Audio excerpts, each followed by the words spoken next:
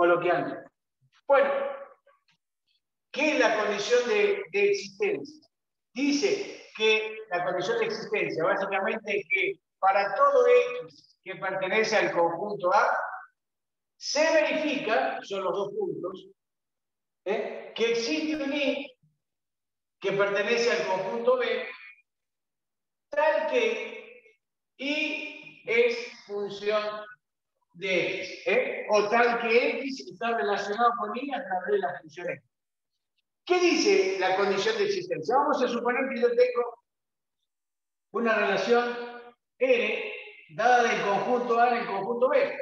Y acá tengo 1, 2, 3, 5, 7, 10, 20. Y vamos a suponer que el 1 está relacionado con el 5, esta es mi relación. El 2 con el 10, el 3 con el 5. ¿Sí? Acá, en esa relación binaria, podemos decir que todo el conjunto A, ¿sí? formado por el elemento 1, 2 y 3, se llama conjunto de salida o alcance también. Este es conjunto de salida o alcance de la relación. Este conjunto B, que está formado por el elemento 5, 7, 10 y 20, para que no lo ve es un 20, ¿eh? ese es el conjunto de llegada o rango de la relación. ¿Y qué pares ordenados tiene la relación? Bueno, ahí la relación yo la puedo nombrar, eh, acá está representada en diagrama de Venn, pero como es un conjunto, una relación, nada más que no es un conjunto de elementos simples, sino que es un conjunto de pares ordenados, yo la puedo representar esa relación por extensión. Es decir, debería nombrar todos los pares ordenados que conforman a esa relación. Sería el par ordenado 1, 5, sería el par ordenado 2, 10, y sería el par ordenado 3, 7. Esos tres pares ordenados, es decir, que son tres flechas, son los que conforman la relación. Y acá está representada la relación por extensión. Es decir, acá estoy nombrando los pares ordenados eh, que pertenecen a esa, a esa relación. ¿Cuál es el dominio de esta relación? Y el dominio es el conjunto desde donde salen las flechas ¿eh? Fíjense que todo esto que está acá es el dominio, ¿eh? dominio de la relación, que el dominio en este caso coincide con el alcance, o sea, coincide con el conjunto de salida. Y el dominio también son aquellos elementos que son primeras componentes de los cuales ordenar la relación. Uno, dos y tres. ¿eh? El rango, ¿qué sería el rango? Y el rango es el conjunto de llegada. Pero también yo tengo, así como tengo el dominio dentro del alcance, yo tengo el recorrido dentro del rango. ¿Y qué es el recorrido? Estos elementos que están aquí. El recorrido son los elementos que son 5, 10 y 7. 5, 10 y 7. Son los elementos que son segundas componentes, los pares ordenados de la relación, o también donde llegan las flechas. Sigue hablando mal y pronto, ¿no? Ese sería el recorrido la relación. Eh, les recuerdo que la clase pasada le di varios nombres al recorrido. ¿Eh? Le llamé codominio, contradominio, conjunto imagen o recorrido. De todas las maneras lo van a encontrar en los libros. ¿sí? Y yo quiero saber si esta relación de A en B, que está representada en este caso, cumple la condición de existencia. ¿Qué dice la condición de existencia? Para todo elemento genérico X del conjunto A, se debe verificar que existe un elemento genérico Y del conjunto B, tal que SX y SI estén relacionados a través de la relación, bueno, que esa relación va a ser función, por eso le pongo F, siempre y cuando cumpla las dos condiciones, la de existencia y la de Cumple esta condición y yo me fijo.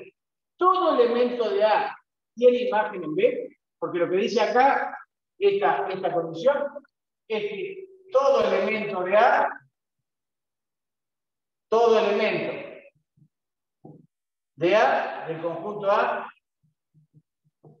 debe, debe tener imagen en el conjunto B. ¿Se cumple esta condición? todo elemento de A tiene imagen B. Sí, cumple esa condición. Perfecto. Cumple entonces la condición de existencia. Vamos a suponer que haya un elemento que no la cumple. Le voy a poner acá abajo, abajo le voy a poner no existencia. No existencia. ¿Eh? ¿Qué pasa cuando a mí me dan un conjunto? Vamos a, dar un ejemplito. ¿sí? Vamos a poner acá abajo otro ejemplito, otra relación. A y B, vamos a suponer que acá sea 1, 2 y 3, 5, 7, 10 y 20, pero ahora es otra la relación. Es el 1 con el 7, el 2 con el 5. El 2 con el 5. ¿eh? Y es más, al 2 le voy a poner también el 10. Acá es otra relación. Si quieres llamarle L1 a esta y L2 a esta otra. O sea que ahora la relación 2, que acá está representada en diagrama de nivel, lo voy a escribir ahora este, eh, por extensión. ¿sí? Es decir, voy a poner el par 1, 7, voy a poner el par 2, 5, voy a poner el par 2, 10, y ahí esos tres pares ordenados conforman esa relación. Si yo le preguntara de esta relación, ¿cuál es el alcance? Vos sabés que el alcance del conjunto de salir sería 1, 2, 3, todo es el alcance. ¿Cuál es el rango? El rango conjunto de llegada es todo el conjunto B. 5, 7, 10 y 20, por más que no esté relacionado. ¿eh? Son todos. Ahora sí, ¿cuál es el dominio de donde sale la flecha o los elementos que son primeras componentes de los pares ordenados de la relación. Uno, dos. Bueno, acá se repiten dos, eh, dos pares ordenados, pero se lo pueden mencionar. ¿Eh? Si a mí me pidieran cuál es el dominio, y el uno y el dos. ¿Cuál es el recorrido? Y el recorrido sería 5, 7 y 10. ¿eh? Dominio de la relación 2 y recorrido de la relación 1. A mí me preguntan, ¿esta relación cumple la condición de existencia. Cuando no la cumpla, chicos, yo tengo que negar esto que está acá. ¿Cómo se niega? Esto que está acá, este símbolo, que significa para todo, eso se llama un cuantificador. Hay dos tipos de cuantificador. El, el, universal, que se llama este, que generaliza, y el existencial, que particulariza, que individualiza. Entonces, en este caso, para poner que no cumple la condición de existencia, vamos a poner acá a condición de existencia, voy a poner directamente no existe. Voy a dejar así para no hacerlo. Yo tengo que cambiar los participadores, es decir, voy a poner que existe un X que pertenece al conjunto A, tal que cualquiera sea el Y que pertenece al conjunto B, se verifica que ese Y y ese X no están relacionados o no están este, eh, alcanzados a través de la función. Entonces, acá cumple la condición de existencia. ¿Qué me dirían ustedes? No, ¿Por qué no cumple la condición de existencia? Porque no todos los elementos del conjunto A tienen una imagen en B. ¿Cuál no? El 3. El 3. Entonces, ¿cómo haríamos nosotros? Siempre que ustedes la cumplan, chicos, esto se lo digo porque le van a tomar el parcial y le van a decir, justifique. Cumple, es función, justifique. Si es función, ¿sí? lógicamente, analizar las dos condiciones, la de existencia que estamos viendo ahora y la de unicidad que vamos a ver en el La de existencia, si la cumple, vos tenés que poner. Y no poner ningún ejemplo, porque la cumple. Ahora, si no la cumple, por eso le pongo una existencia acá, si hay algún elemento que no la cumple, debemos dar el ejemplo. ¿Qué ejemplo daríamos acá? Y que el 3 no tiene ninguna imagen. ¿Y cómo se expresa eso? Vamos a poner entonces, ejemplo, existe el X del, conjunto presente. Existe el 3, que pertenece al conjunto A, tal que cualquiera sea el I que pertenece al conjunto B, ¿eh? se verifica que el, eh, así se pone, que el 3 no está relacionado con ningún I a través de esa función. ¿eh? Entonces, la no existencia es cuando hay por lo menos un elemento que no cumple la condición, ¿no es cierto?, de tener imagen en el otro conjunto B. ¿eh? Si hay un elemento que no la cumpla, tenemos que poner el elemento que no la cumple, ¿no es cierto? Y, mejor dicho, poner la condición y poner el ejemplo que no la cumple. En este caso, el 3 no lo cumple, por lo tanto, esta sí cumple condición de existencia, ¿sí? sí cumple condición de existencia, y este no cumple condición de existencia. ¿Mm? Bueno, voy a ir sacando la foto y vamos a ver ahora condición de unicidad. ¿Alguna duda con esto? No, profe. No, profe. ¿Cómo se, se le ha dado vuelta, profe? Disculpe la pregunta. Eh, ¿Esto decís vos? Sí. Esto se llama cuantificador universal. Eso significa, lo, voy a escribir por aquí. A ver, por acá. Cuando vos tengas esto, significa para todo. Es un cuantificador que generaliza ¿eh? cualquier, cualquier variable, para todo. Y cuando vos tengas esto, ¿qué significa? Existe. Existe. Los dos son opuestos. Uno generaliza y el otro particulariza. ¿sí? Lógicamente, si yo tacho esto, ¿sí? si tacho el para todo, estoy diciendo que ninguno. ¿Se entiende? Y si yo tacho no existe, estoy diciendo no existe. ¿Hace falta que lo aclare eso? No, profe, muchas gracias. Para todo X que pertenece a, siempre los dos puntos significan se verifica. Y siempre la barra tal que. Siempre los dos puntos van, van después del cuantificador universal. Y siempre la barra va después del cuantificador de existencia. Fíjense que acá, cuando yo puse simplemente, se estuve negando esto, eh, cambié los cuantificadores, también el para todo por el existe, el existe por el para todo. Después del existe yo puse la barra tal que. ¿Sí? Y después del para todo puse los dos puntos, eh, no sé si se ven bien, que significan se verifica. Estos dos puntos significan se verifica. Bueno, vamos a ir ahora a la otra condición. Voy a sacarles unas fotitos para que lo tengan. Perdón, disculpa. ¿eh?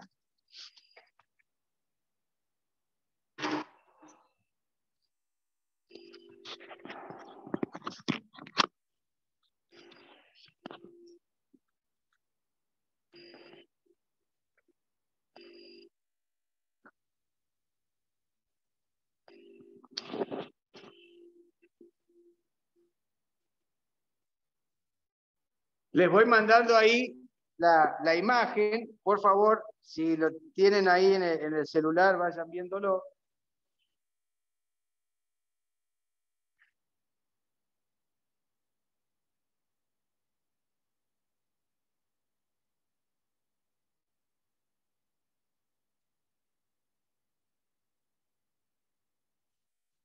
Ahí va la primera imagen. La pueden ampliar también si ustedes quieren.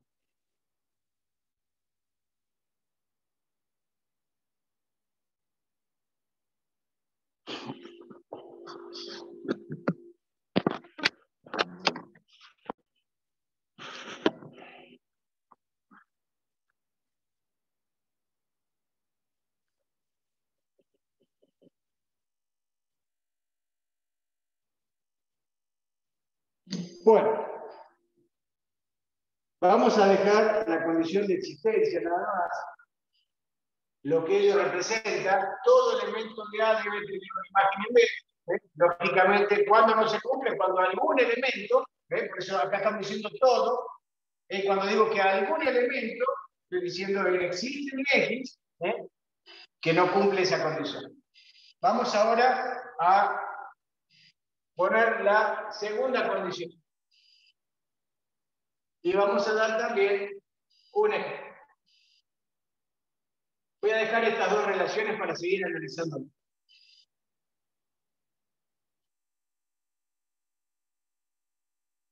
Si yo eh, me preguntara si esta relación es función, debo analizar las dos condiciones. La de existencia, que decía que la que acabamos de ver, y la de unicidad. ¿sí?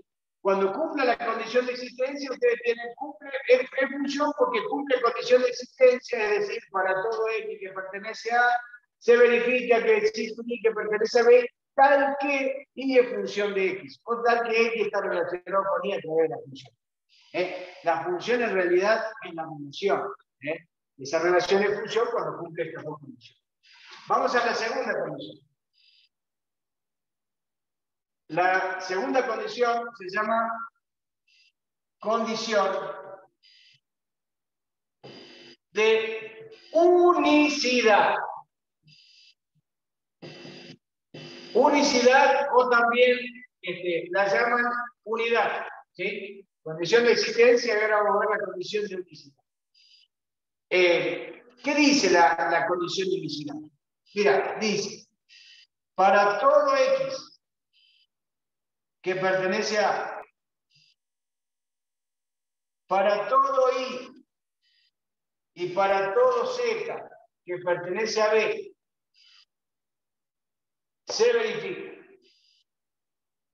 que el par XY pertenece a la función y el par XZ pertenece a la función. Entonces, y tiene que ser igual a C. A ver, quiero que lo entiendan clarito. ¿sí? Clarito. Voy a dejar el ejemplo porque este, después nos va a, convenir eh, analizarlos. ¿eh? Respecto a la, a la, primera condición ya lo analizamos y ahora después lo vamos a analizar respecto a la segunda condición. Este segundo ejemplito que está acá, eh, perdón, esta segunda condición que está acá, dice que básicamente esto, mira.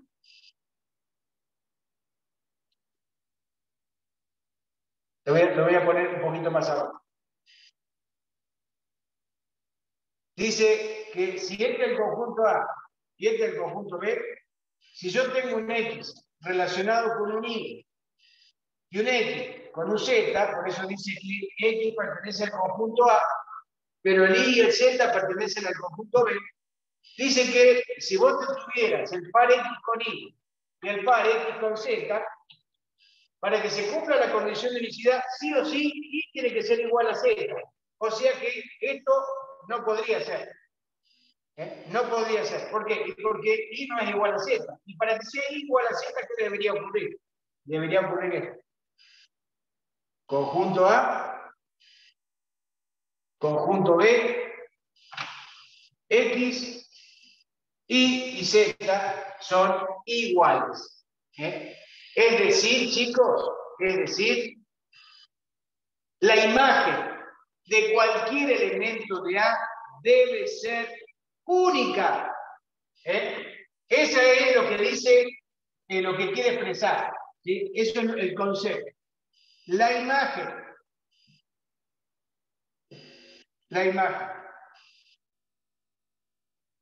de cualquier elemento del conjunto A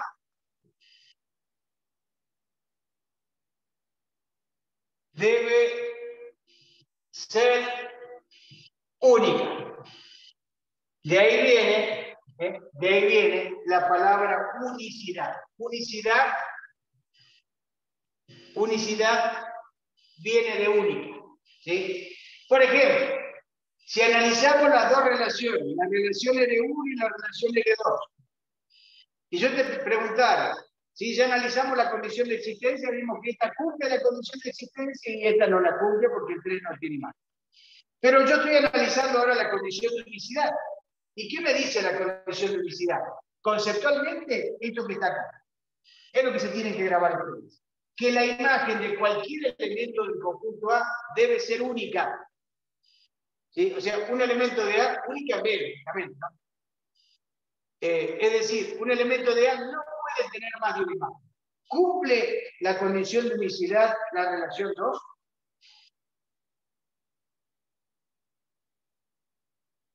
Sí. La imagen, a ver, vamos, empecemos por la 1. ¿Cumple la condición de unicidad? ¿La imagen de 1 es única? Sí, sí, profe. ¿Cuánto vale la imagen de 1? 5.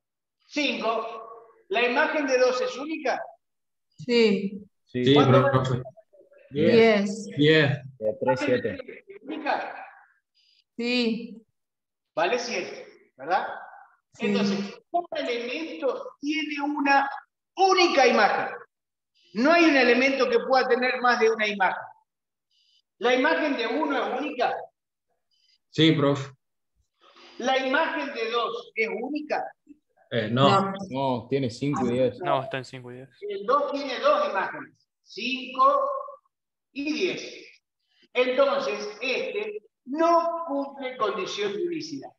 Ya voy a sacar la foto para no borrar esto y les voy a poner cómo se escribe cuando no se cumple la condición de unicidad. ¿eh? Saco la foto de esto y ya ponemos el ejemplo.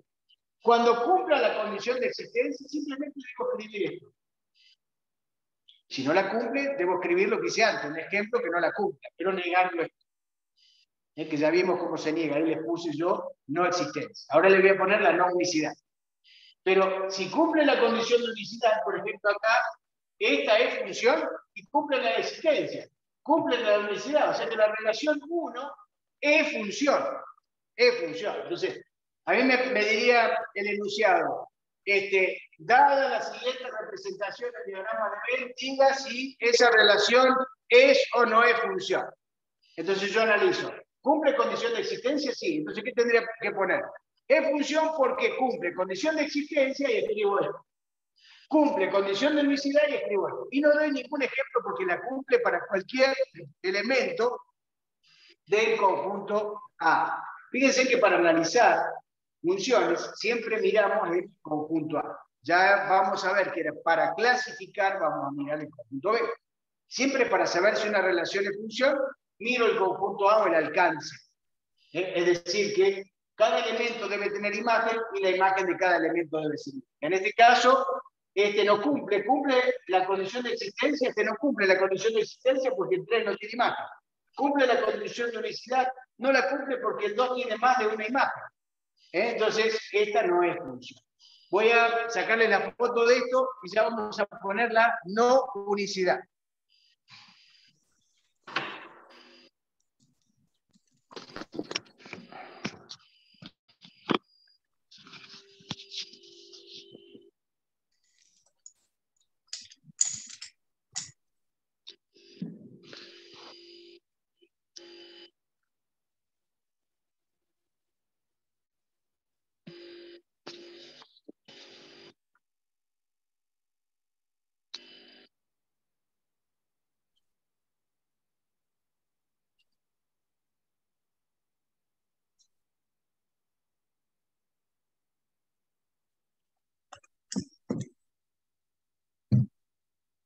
Va la segunda imagen.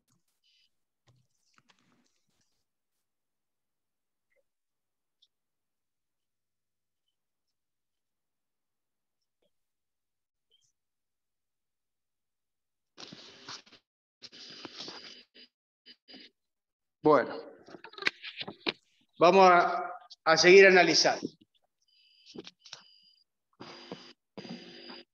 Vamos a seguir analizando. Voy a borrar esto y voy a analizar eh, esta relación 2 que está acá, que eh, me pregunta si cumple la condición de unicidad. Y ya estuvimos viendo que no la cumple porque evidentemente que acá hay un elemento que tiene más de una imagen. Cuando establezcamos la condición de no unicidad, ¿sí? No unicidad. La no unicidad quiere decir que no se cumple esta condición. Cuando no se cumpla esta condición, vamos a tener que cambiar los cuantificadores. Es decir, vamos a decir, existe un X que pertenece al conjunto A, existe un Y y existe un Z que pertenece al conjunto B, tal que. Y negamos esto, o sea que esto le tendremos que poner acá, y igual a Z no se puede. ¿eh? O sea, vamos a poner tal que el par XY pertenece a la función y el par XZ pertenece a la función y, sin embargo, y, y es distinto de Z. ¿sí? Y distinto de Z. ¿eh? Ejemplo, ejemplo. ¿Qué ejemplo pondrían ustedes acá? Ejemplo. En la relación 2 ¿eh? existe, eh, existe el 2. Perdón, existe el 2.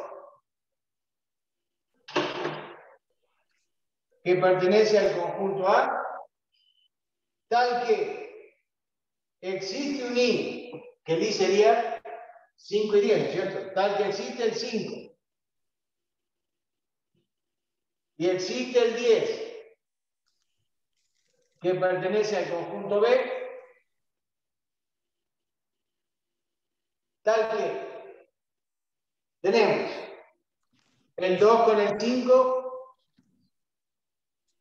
que pertenece a la relación 2,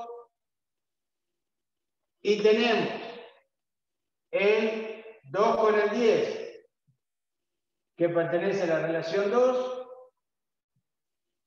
y lo sigo abajo, y 5 es distinto de 10. 5 ¿eh? distinto de 10.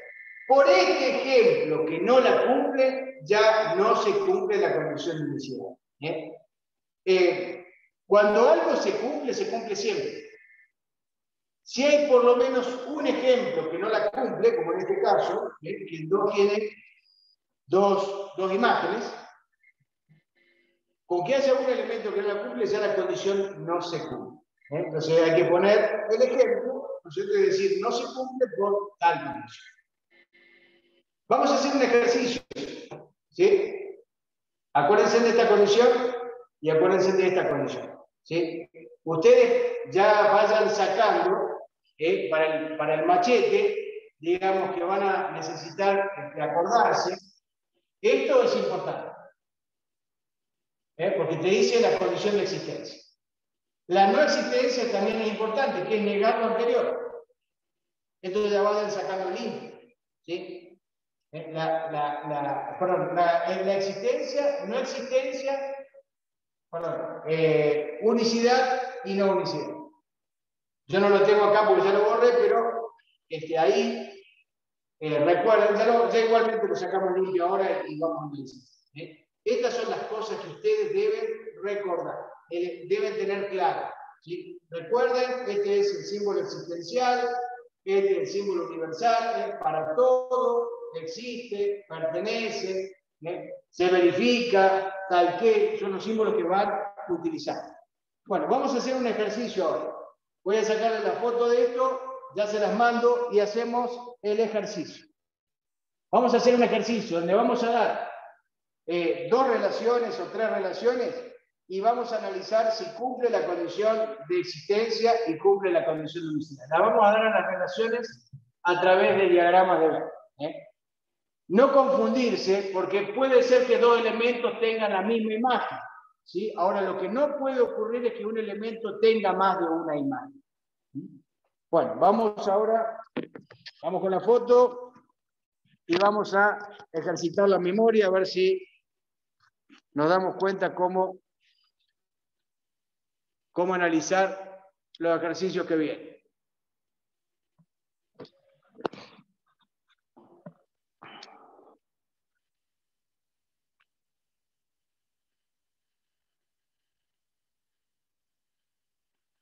Va al otro pizarrón. Bueno.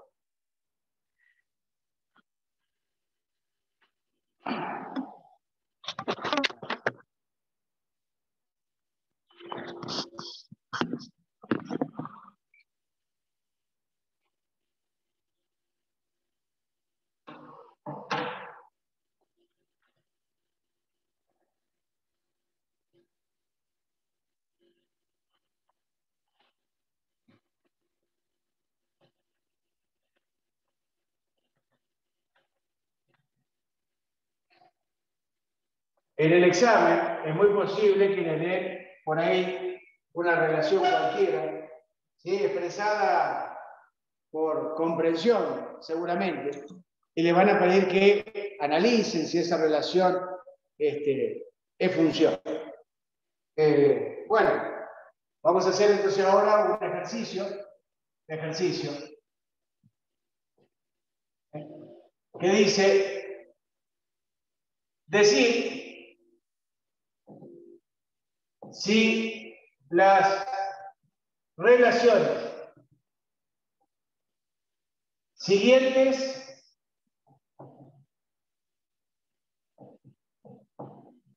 son funciones.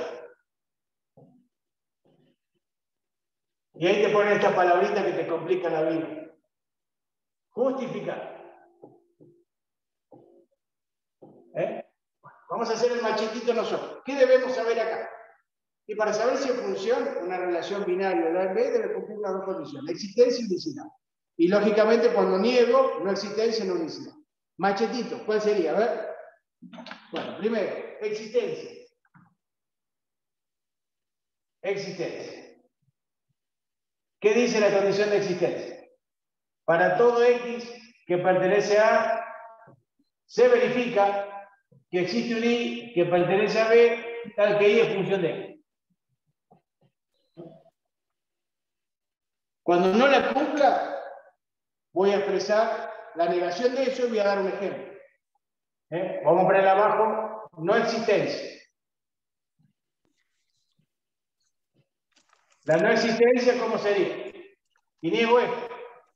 ¿Eh? Siempre el cuantificador universal se niega con el existencial existe un X que pertenece a tal que, recuerden que después del existe va a la barra tal que, ¿eh? para todo Y que pertenece a B, siempre que va el para todo, van los dos puntitos que significa se verifica, y no es función de X.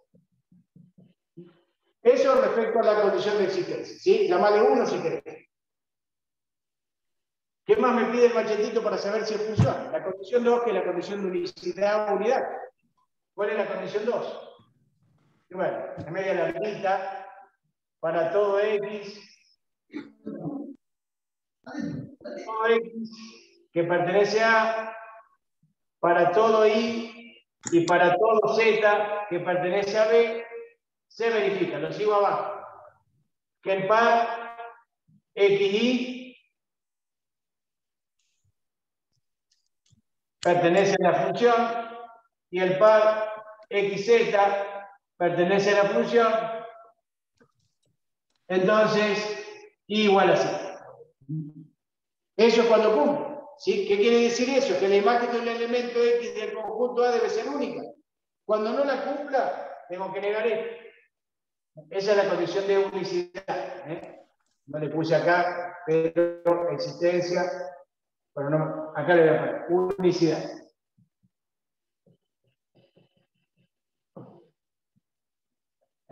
Unicidad. Eh, niego esto. ¿Cómo se niega? La no unicidad. No unicidad. Mi machetito diría ¿Qué niego esto? Existe un X que pertenece a existe un Y y existe un Z que pertenece a B, tal que, y ahora pongo, tal que, sigo abajo, X y pertenece a la función y el par XZ pertenecería a la relación, sería más que función. Entonces, perdón, y, y es distinto. Eso es hasta ahora el machetito que yo debería tener para analizar las este, relaciones que vienen. Entonces yo te digo, vamos con la primera relación. A mí me dicen conjunto A, B, vamos a hacerlo con elementos simples. 1, 2, 3, 5, 10, 20. ¿Sí? Entonces yo tengo así, el 1 con el 5, el 2 con el 5 y el 3 con el 10. Esa es la relación 1. Me pregunta si la relación 1 es función. ¿Sí? Entonces, para saber si es función, eh, y debo justificar el sí, debo analizar las dos condiciones. La condición de existencia, que dice que todo elemento de A debe tener imagen en B, y la condición de unicidad, que dice que la imagen de cualquier elemento de A debe ser única. ¿Cumple la condición de existencia? todo el elemento de A tiene una imagen en B? Sí. En sí, profe. Perfecto. Entonces, sí existencia. Sí existencia. ¿Y cómo lo justifico la existencia? Sí existencia. Y tengo que poner esto. Eh, cumple la condición de existencia porque para todo el que pertenece a se verifica que existe un I que pertenece a B tal que ella funcione. ¿Eh? Ahí justifiqué la condición de existencia. No estoy dando ningún ejemplo, no, porque la cumple cualquiera, así que no necesito dar ejemplo. ¿Cuándo doy ejemplo? Cuando algún elemento no la cumple. ¿Sí? Bueno, sí existencia. Unicidad cumple. No, profe. No, profe. No. Sí, cumple. Unicidad sí, sí cumple. Alguien dijo por ahí que no cumple. No cumple, profe. ¿Por qué no? Porque no, no es única la, la imagen de, de uno y dos. Ah, ¿no? La Es imagen de uno, igual. ¿cuánto es? ¿Cuánto es la imagen de uno? Cinco. Cinco. ¿Es única? Sí. Sí. ¿La imagen de dos cuánto es? Cinco. Cinco. ¿Es única? También. Pensé que, que no eran porque coincidían en la misma imagen. Ah, ya vamos a ver que después eso significa que no es inyectiva, ¿sí? Pero, porque ya vamos a mirar el conjunto B. Pero vos tenés que mirar, acuérdate, cuando vos estás analizando funciones, concentrate en el conjunto A. Yo me concentro en el conjunto A. Entonces, mirando el conjunto A, no miro el B, no me, interesa el B. ¿Eh? ¿Qué tengo que mirar del conjunto A? Que siempre de cualquier elemento salga una flecha. ¿Sí? O sea que cada elemento tiene imagen. Y segundo, la de unicidad, es que siempre de cada elemento del conjunto A donde salga una flecha, salga una sola flecha. ¿Qué es lo que no se puede dar? Que salgan varias flechas. ¿eh? Es que de un elemento salga una flecha, otra flecha, pero del mismo elemento. No importa que dos elementos compartan la imagen. ¿eh? La imagen de uno es única, sí vale 5. La imagen 2 es única, sí vale 5. La imagen de 3 es única, sí vale 10. ¿Eh? Este es un error muy común, ¿eh? que lo tienen a menudo, porque dicen, ah, pero el 1 tiene imagen 5, el 2 tiene imagen 5, entonces no cumple la condición de unicidad. Pero yo estoy mirando el conjunto A. ¿eh? De cada elemento sale una sola flechita, sí, entonces la unicidad la cumple.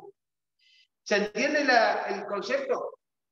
Entonces, Sí, sí, vamos a poner acá también, si unicidad. ¿Y acá qué debería poner de mi machetito? ¿Cuál debería poner? ¿Por qué cumple la condición de unicidad?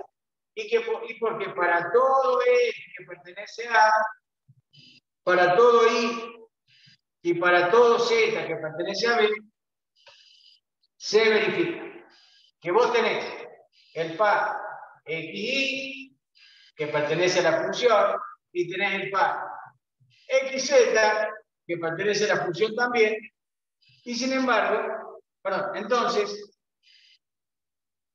y es distinto a, perdón, y es igual a c, y es igual a c. ¿eh? Un elemento tiene una única imagen. No tiene dos imágenes, una X y una C. Tiene una sola imagen. ¿eh? Y es igual a C. Entonces pondríamos acá conclusión final. ¿Qué pondríamos conclusión final? Que esto... Que es una función. R1 es función. R1 es función. ¿Estamos de acuerdo hasta ahí? Vamos a hacer uno más. ¿eh? Vamos a hacer uno más. Este, eh, y ya vamos a pasar a clasificar funciones. Recuerden, recuerden, y estas son las cositas que le tienen que quedar en claro.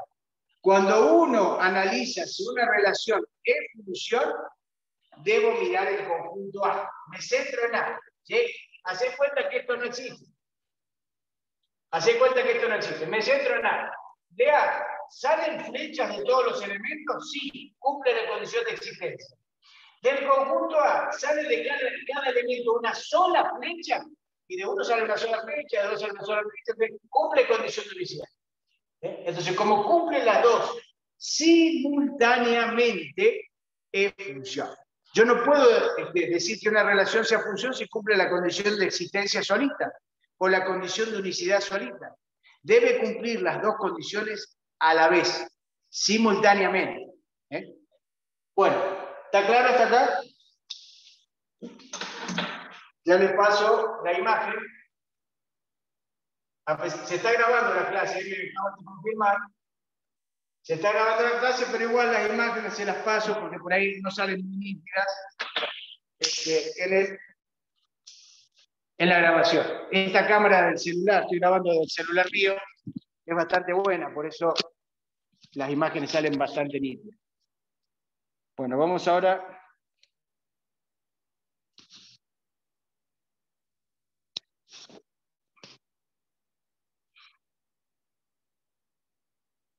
Vamos a hacer una, una función más.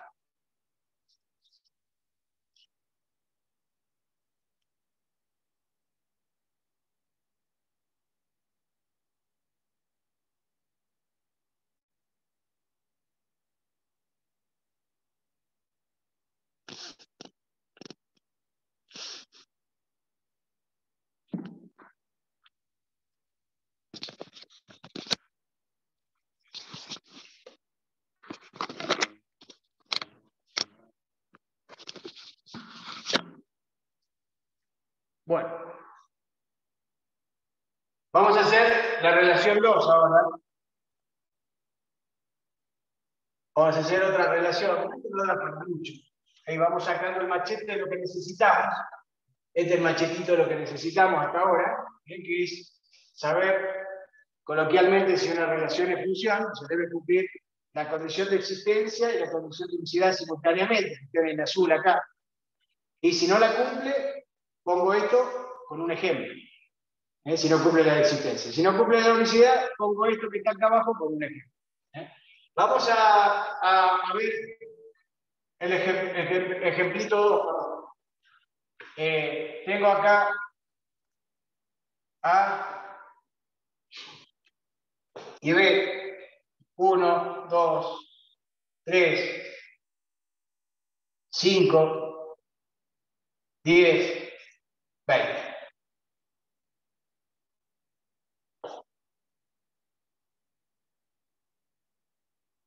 El 1 con el 20.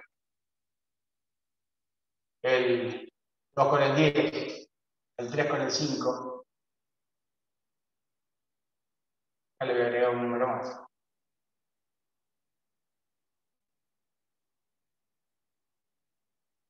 Cuatro. Acá el conjunto A tiene cuatro elementos.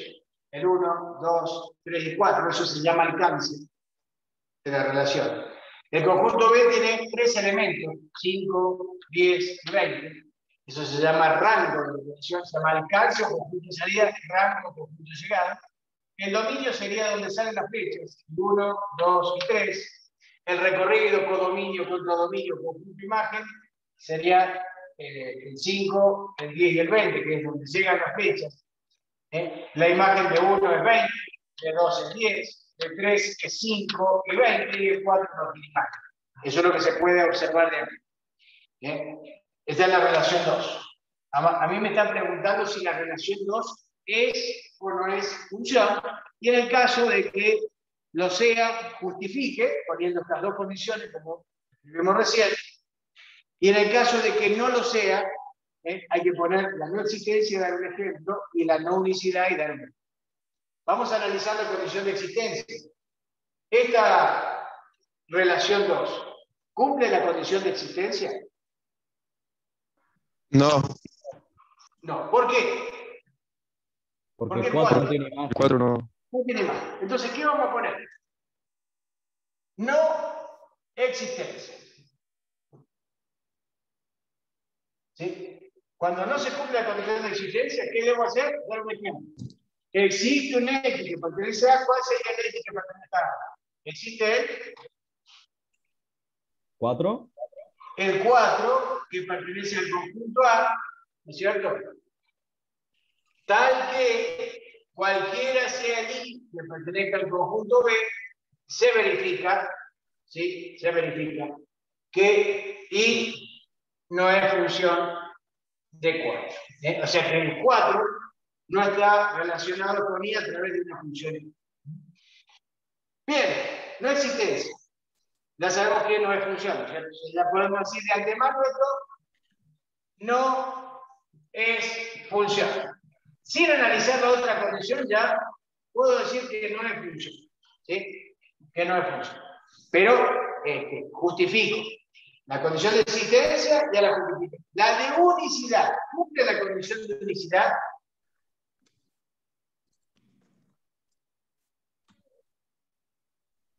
Tampoco porque 3 tiene dos imágenes. Exacto. Unicidad viene de única. ¿Y qué debe ser única? La imagen de cualquier elemento de A. La imagen de 1 es única, es 20. La imagen de 3 es única, vale 10. Pero el 3 no tiene una única imagen. Tiene dos imágenes, el 5 y el 20. Entonces, ¿qué debemos poner? No unicidad. Y ahí justificar. ¿Eh? Existe, tengo que escribir esto como ejemplo. Existe el 3 que pertenece al conjunto A. Existe el 5. El 5. Y existe el 20 que pertenezca al conjunto B, tal que. Tal que. Y ahí pongo los cuatro. El 3 el- con el 5 pertenecería a la función, si es que fuera función. Y el 3 con el 20 pertenecería a la función. ¿sí? Acá podemos poner, si quieren, en lugar de como no es función, pertenece a la relación 2. ¿eh? Acá pertenece a la relación 2. Y sin embargo, el 5 es distinto a B. ¿eh? Es decir, hay un elemento que tiene dos imágenes distintas, el 5 y el 20. No existencia, no unicidad, por lo tanto, esa relación 2 no es función. ¿Quedó claro, chicos? Sí, profe, de 10. Sí, profe. Vamos a clasificar. ¿sí? Así que esto debe quedar bien claro. Le saco la foto y ya vamos a clasificar. ¿Se acuerdan cuáles eran las propiedades para clasificar una función?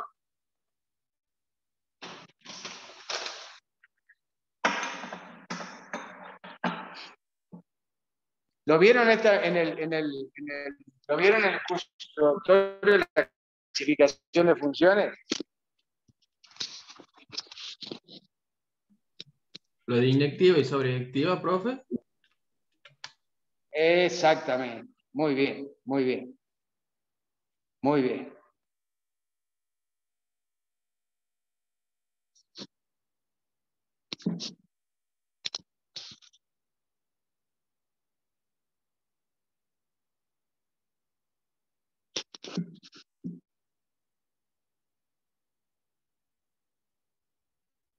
Muy bien. Bueno.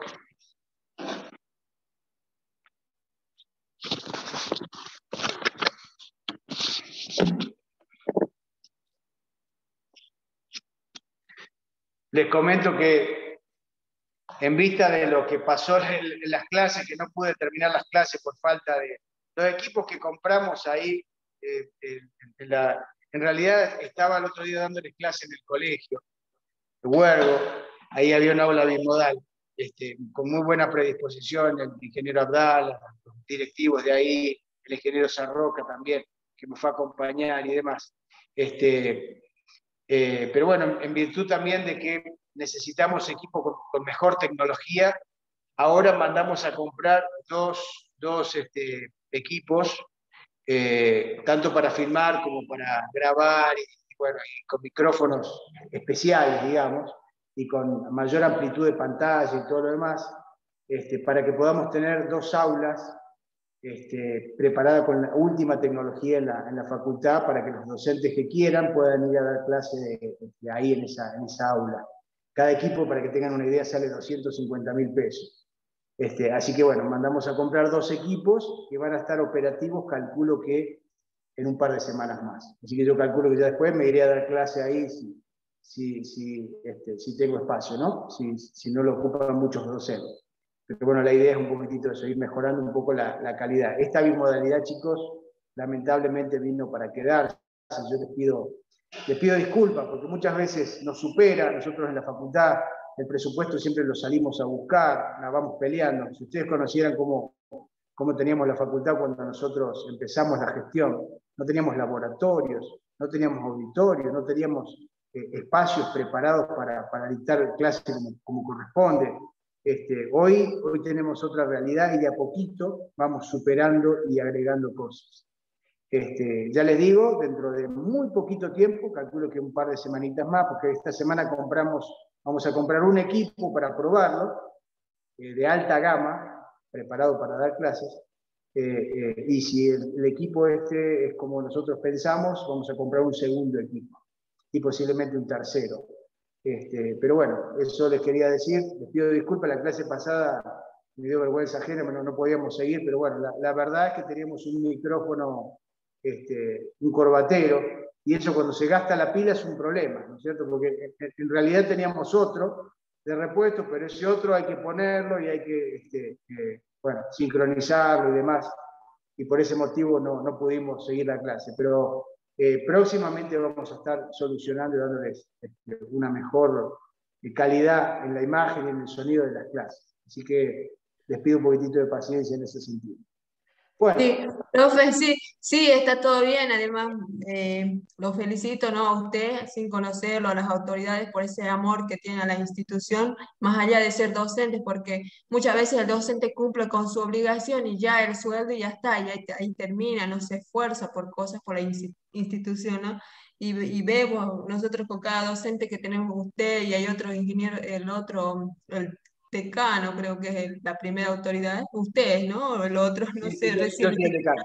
Y hay otros que lo acompañan también, y entonces veo ese amor que tienen para que la institución tenga ese desarrollo, ¿no? Y eso es bueno y muchas felicidades y estamos seguros que, que vamos a tener un mejor, mejores clases virtuales porque es un, es un inicio esto, como usted dice, empieza recién y saquemos el positivo, ¿no? El lado bueno, y, es para bien, por ahí, si no hubiese habido esta pandemia, nunca hubiese llegado a tener esas cosas ahí en la institución, pero gracias a la pandemia es como que nos obliga a, a, tener, a mejorar nuestra tecnología en la institución, y no solamente en la institución, también en nuestras casas, porque eh, a veces no tenemos ni internet, ahora por tener clases nos esforzamos a tener internet y de una u otra forma nos ayuda también a nosotros como estudiantes para entrar al campo de la tecnología, ¿no? Sí, yo te agradezco tus palabras porque muchas veces este, eh, peleamos contra molinos de viento, como dice el Quijote, pero eh, el día que egresen de la facultad se van a dar cuenta por qué es el amor que tenemos a nuestra casa, a nuestra facultad. Este, y es yo soy primer graduado de la casa, creo que alguna vez les dije. el, primero que se sentó en un banco ahí este, con un grupo de chicos este, en el año 86, miren, ustedes no habían nacido todavía, este, fui yo. yo. yo. empecé con la universidad, después me recibí, seguí como docente, bueno, después este, siempre vinculado a la, parte de docente y también a la parte política, a la universidad, porque la verdad que este, eh, eh, tenemos que hacer que nuestra facultad funcione. Hemos tenido muchos, muchos gobiernos también que, que nos, que, que, no se ha hecho nada, entonces hoy, hoy el hecho de, poder hacer cosas, sacarla, este, eh, mejorar, para nosotros es un deber. Y aprovechando lo que decís vos, cualquier, cualquiera de ustedes que este, esté sin tecnología, esté sin conexión, que necesite conexión, por favor se acerca y habla con el subsecretario de Asuntos Estudiantiles este, para que le, resolvamos el problema. ¿sí? Eh, el año pasado hemos dado muchas becas de conectividad, incluso de nuestro bolsillo, muchas veces lo hacemos, no les, contamos, pero muchas veces sacamos plata de nuestro bolsillo para que, para que todos los alumnos eh, de alguna manera tengan los recursos y puedan, este, incluso, bueno, estimamos que en un tiempo más, eh, ya de manera organizada y ordenada, algunos alumnos van a poder empezar a ir a la universidad y a, tener clase en la facultad. Por el momento está vedada la situación por esta, bueno, esta pandemia que ya empezó con su segundo este, rebrote, mejor dicho, primer rebrote, este, eh, y su segunda ola. Así que bueno, esperemos eh, poder eh, darles todas las cosas que ustedes necesitan. Este, así que bueno, vamos a continuar con la clase. Era un recreito de dos minutitos para comentarles esto nada más, pero vamos a seguir trabajando para que tenga la, mejor universidad, la que ustedes se merecen. Vamos a clasificación de funciones.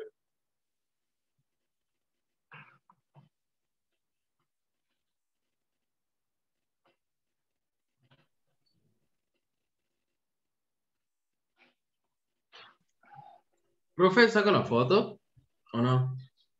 De esto saqué la foto. ¿Llegó? Ah, sí, sí. Bien. Bueno, vamos ahora con clasificación de función. Acordate, para saber si una relación es función, miro el conjunto A o el alcance, es lo mismo. Ya vamos a ver que para clasificar vamos a mirar el conjunto B este, eh, ¿sí? Clasificación de funciones de tipo. ¿eh? Clasificación de función.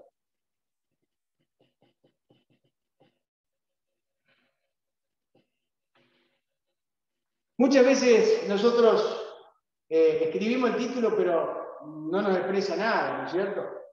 Cuando acá pongo clasificación de funciones, si una relación no es función, no la puedo clasificar. ¿eh? Esto que quede claro. muchas veces yo le pongo una relación y no es función y te pregunto si es este, inyectiva. Y vos me decís, sí, profe, es inyectiva.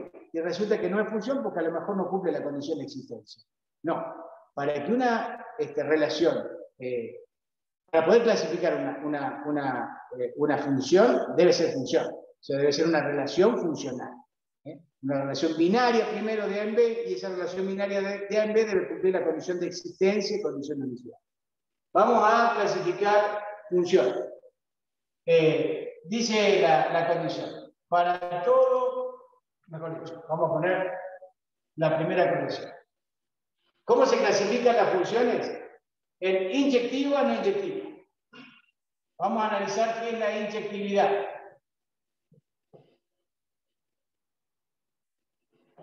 La inyectividad.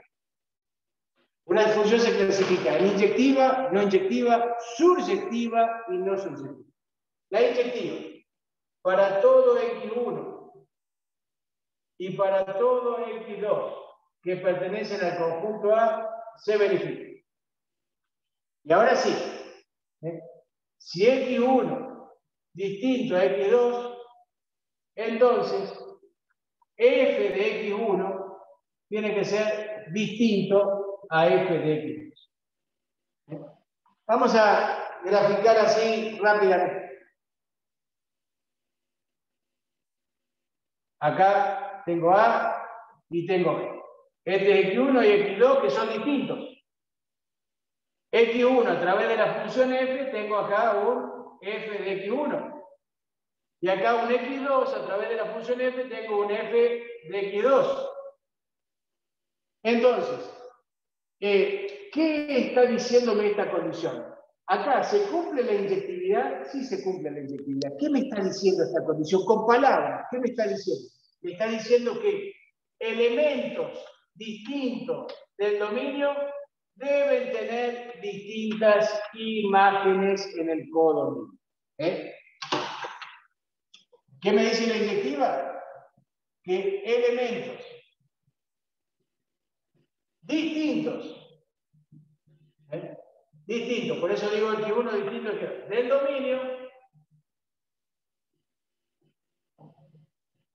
del dominio de la función, ¿cierto? Del dominio de la función, porque recuerden que si no hay función no se puede clasificar. Elementos distintos del dominio de la función, coma, deben tener distintas imágenes.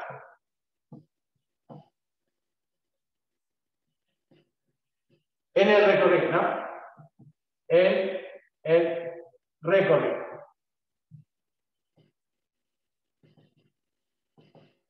En el recorrido. Eh, y, si no, y si no cumple la condición, ¿cuál sería la no inyectiva?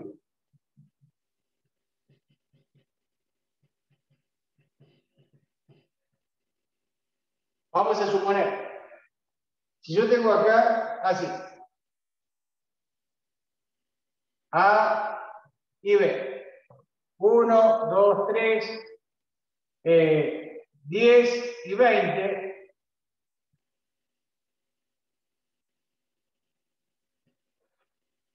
ahí tengo la función F1. ¿Es función? ¿F1 es función? No, ¿Se alcanza a ver? Sí, sí es función. ¿Qué función? ¿Por qué? Cumple la condición de existencia. El uno tiene, eh, el uno tiene imagen, el dos tiene imagen, el tres tiene imagen. Cumple la condición de unicidad. La imagen de uno es única, la imagen de dos es única y la imagen de tres es única. ¿Sí? Ahora me está preguntando si es inyectiva. ¿Es inyectiva esa? No. No, ¿por qué? Distintos elementos del dominio tienen la misma imagen. Eh, entonces, ¿cuál sería la no inyectiva? Cuando no cumpla la condición de no inyectiva, vamos a negar esto. Vamos a poner, vamos a decir, existe el X1 y existe el X2 que pertenece al conjunto A, tal que, recordad que cuando van eh, este símbolo que es como una dada vuelta, eh, lo que un compañero, van los dos puntitos que significan se verifican. Pero cuando va la, el existe, va la barra tal que. Existe un X1 y existe un X2 que pertenece al conjunto A, tal que X1 distinto a X2, digamos. Y sin embargo, f de X1 igual a f de X2. ¿Eh? Vamos a poner el ejemplo. ejemplo. Existe el 1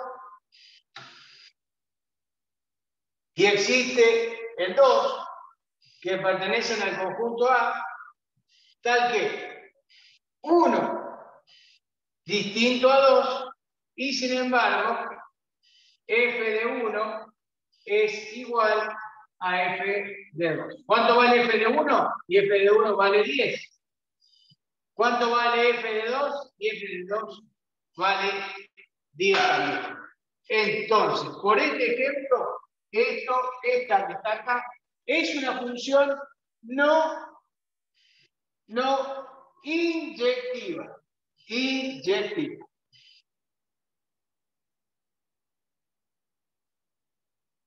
No inyectiva. Es función, sí, pero es una función no inyectiva.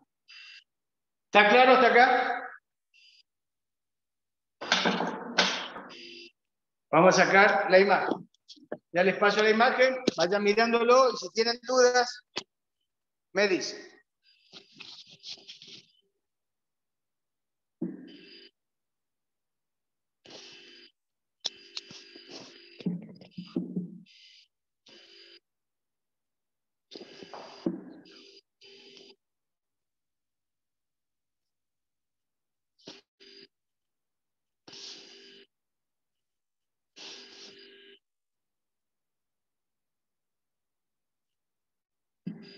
Ahí está la imagen.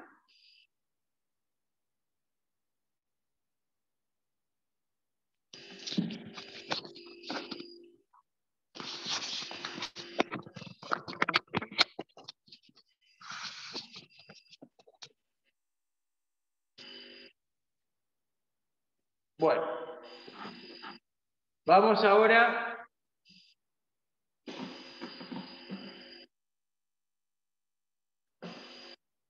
Vamos ahora este, a, ver cuándo es suryectiva. ¿De esto alguna duda? Entonces, cuando sea inyectiva, si, la relación, este, perdón, si la función, si la función es inyectiva, es decir, se cumple siempre directamente escribir Si es, inyectiva, pues cumple la condición de inyectividad que es esta que está aquí. Y no ponemos ningún ejemplo. Si llegara a pasar que es no inyectiva, como en este caso, ¿eh? no inyectiva, acá estamos analizando esta función F1 y vemos que es no inyectiva, tenemos que poner la condición de no inyectividad y poner el ejemplo, o el ejemplo directamente, Bueno, vamos ahora a la sobreinyectiva o sobreinyectiva. Inyectiva Ya lo analizamos.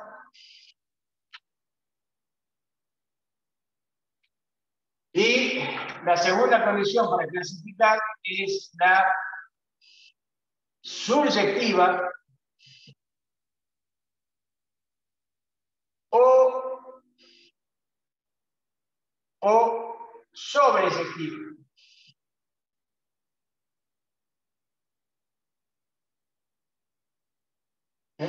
Subjetiva o sobreefectiva también.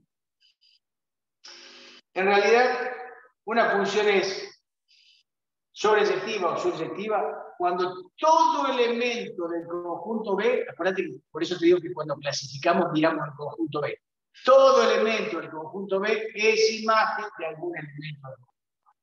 ¿Eh? ¿Eh? ¿Cómo se escribe eso? Y bueno, vamos a escribir medio parecido a la existencia, pero mirando el conjunto B.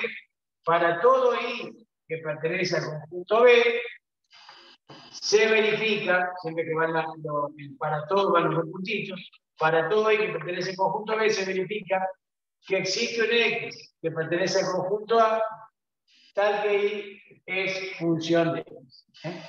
Esa es la condición de surjectividad o sobreefectividad. Es decir, si yo tuviera, por ejemplo, A y B, 1, 2, 3, 5, 10, 15 y 20.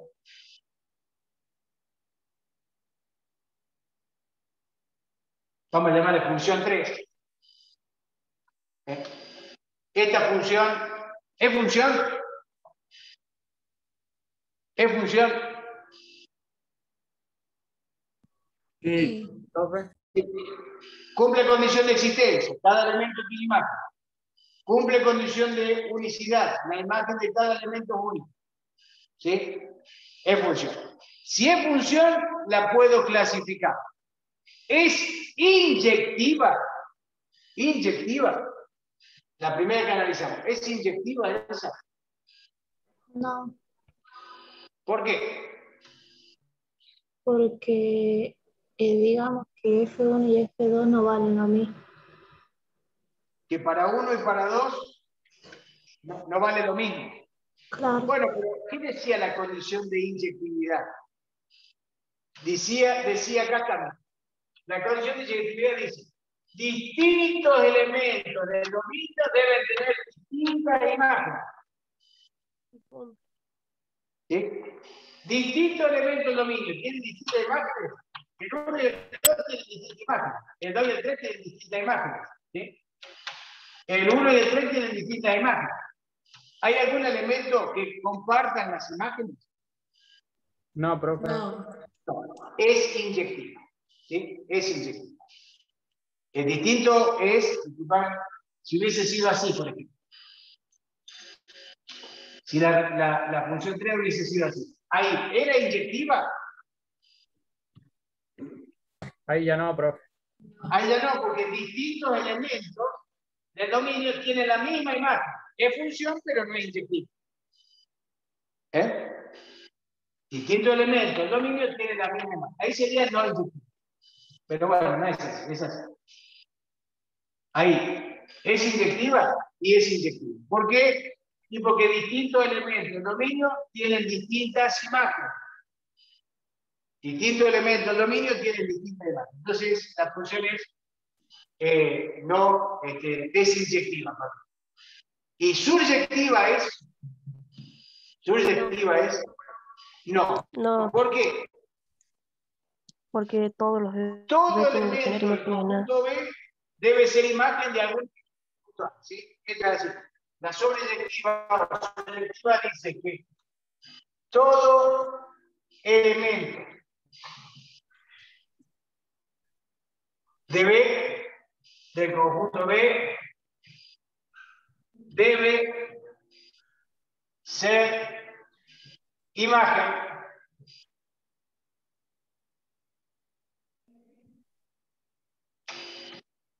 de algún elemento del conjunto A. ¿Eh? Todo elemento del conjunto B debe ser imagen de algún elemento conjunto. ¿sí? Todo elemento de B es imagen de algún elemento del conjunto A y el 5 es imagen de 1. El 10 es imagen de 3. El 15 es imagen de 2, pero el 20 no es imagen de ningún elemento del conjunto A. Entonces, ¿qué vamos a decir? Bueno, esta función es no subjetiva. No subjetiva o sobreyectiva, ¿cierto? O sobreyectiva.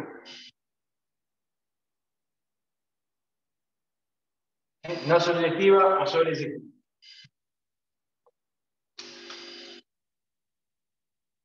Eh, ¿Por qué no? Y porque existe un I que pertenece al conjunto B, tal que, recordate que siempre que él existe va a la barra tal que, cualquiera sea el X que pertenezca al conjunto A, se verifica que I no es función de X. ¿Mm? Ejemplo acá, ¿qué ejemplo pondrían ustedes? Ejemplo.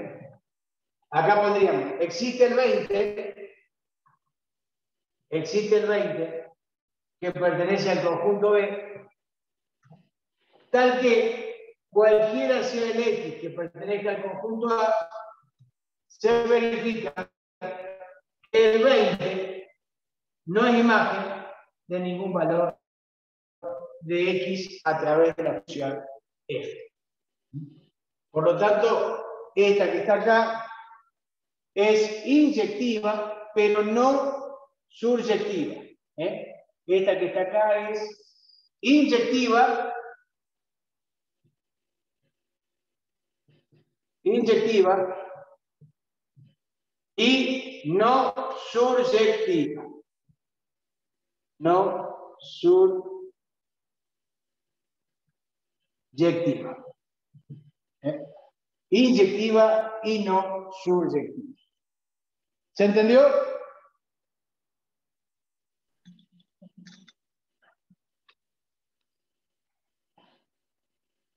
Vamos ahora a sacarle la foto.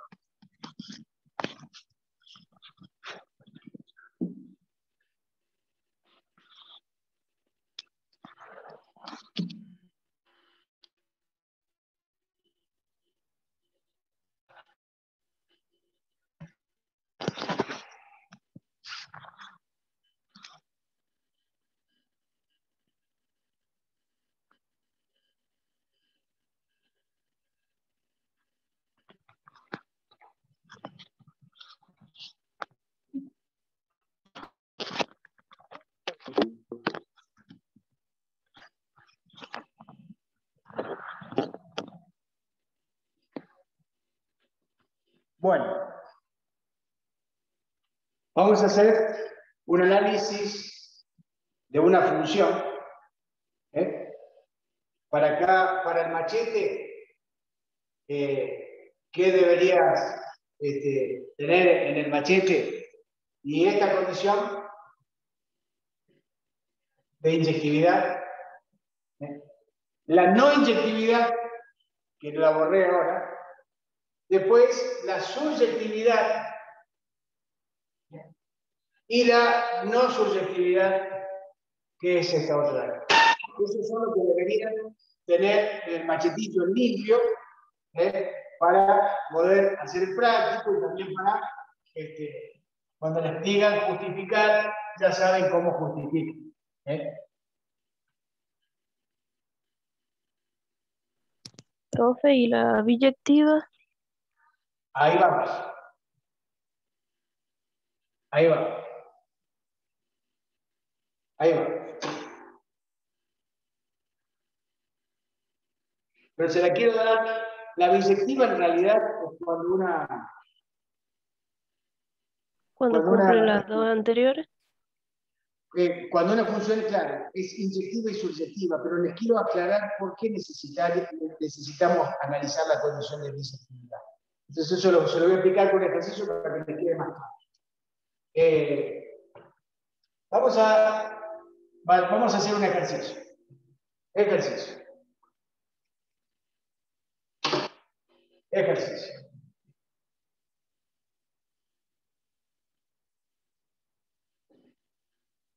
Eh, dadas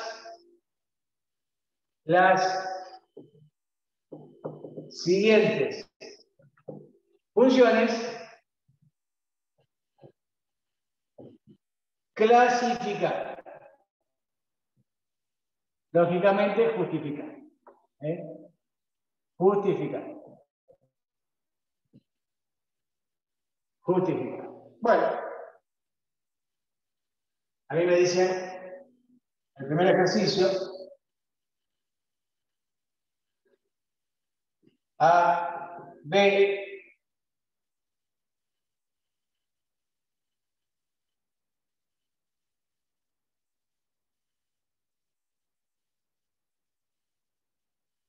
Bueno, esta es la función. Siempre analicen primero si es función, ¿eh? porque si no es función, no se puede clasificar. Esto es función y esto es función. ¿Por qué? Cumple condición de existencia. Cada elemento tiene imagen. La imagen de cualquier elemento de esa es única. Del 1 es 30, del 2 es 20, del 3 es 10. ¿Sí? Perfecto. Es función. Eh, ahora, si clasificáramos, ¿es inyectiva? ¿Es inyectiva? Y para que sea inyectiva, distintos elementos, distintas imágenes. El 1 y el 2 son distintos y la imagen del 1 al 30 y el 1 al 20 son distintos. El 2 y el 3 son distintos, el 2 al 20 y el 3 al 10 son distintos. No hay ningún par de elementos, no hay, ninguno, no, no hay dos o tres elementos o más elementos que compartan la imagen. Cuando hay elementos del conjunto A que comparten la imagen, ahí sabemos que no es inyectivo. ¿sí? Esta inyectiva es, entonces, vamos a poner, es Inyective. Inyective. ¿Sí? Perfecto. ¿Por qué? ¿Cómo justifico? Y, y que justificar diciendo que para todo X1 y para todo X2 que pertenece al conjunto A, se verifica que X1 distinto a X2, entonces F de X1 distinto a F de X2. Distinto elemento del dominio, distinta imagen. Perfecto, inyectiva.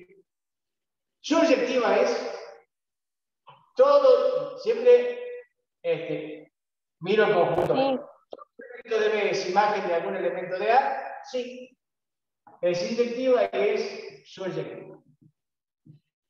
¿Cómo justifico? Y diciendo que para todo I que pertenece al conjunto B, se verifica que existe un X que pertenece al conjunto A, tal que I es función de y es función de Es inyectiva y es subjetiva. Cuando una, cuando una este, eh, función es inyectiva y es suryectiva, chicos, se dice que la función es biyectiva. Y cuando una función es biyectiva, tiene, tiene, esto es importante, tiene función inversa. Inversa. ¿Ustedes se acuerdan la clase pasada que yo le había dado eh, el concepto de relación inversa? ¿Alguno me puede decir qué era una relación inversa? ¿Cómo se sacaba una relación inversa?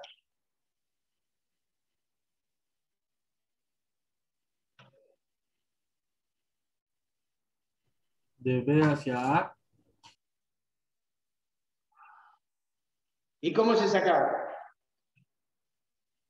Acuerdo, acuérdense, ¿qué hacíamos? Miren los dedos, ¿qué hacíamos? Permutar. ¿Eh? Darlo vuelta.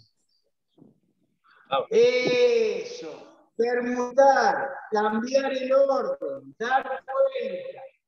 Una relación inversa. ¿eh? Si una relación está dada de A en B, una relación inversa es aquella que se da de B en A y que resulta de permutar, cambiar, alterar el orden en los pares ordenados de la relación. ¿Sí? Acuérdate, era la, misma relación, nada más que en lugar de ser de A en B, ahora va a ser de B en A, y cada par ordenado se lo da vuelta. Esa es la relación inversa. ¿sí? Si yo tuviera acá la función F1, ¿sí? F1. Que la función F1 está dada por el par ordenado. 1.30. Por el par ordenado, 2.20. Por el par ordenado, 3.10. Y yo sé que F1 está dada de A en B. ¿Cuál va a ser la función inversa? Ya la vamos a definir también. Pero ¿cuál sería la función inversa? Y bueno, la función inversa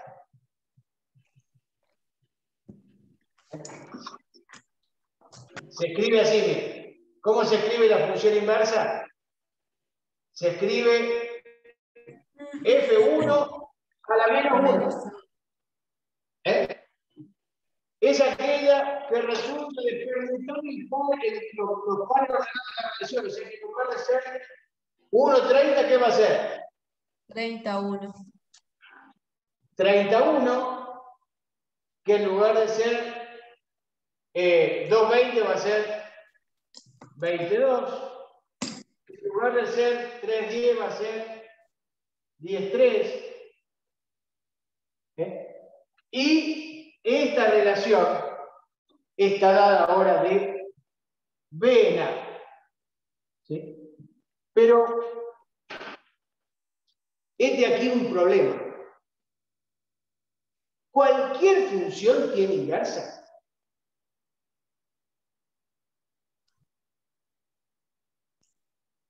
Ahí en el pizarrón no. tiene. ¿Cualquier función tiene inversa? No. No. Solo las que sean biyectivas. Deben ser biyectivas. Debe ser biyectiva. ¿Por qué? Ahora lo vamos a analizar. No cualquier función tiene función inversa.